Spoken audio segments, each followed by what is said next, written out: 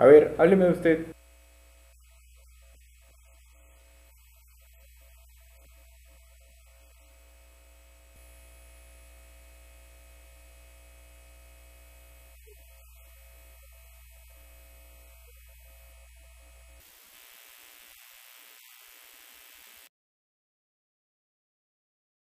Su currículum es muy bueno y cuenta con una muy buena carta de presentación.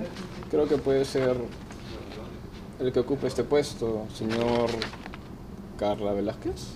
Sí, soy Carla Velázquez, soy transexual. ¿Hay algún problema con eso? No, señor o señorita. Eh, nosotros le llamamos, no se preocupe.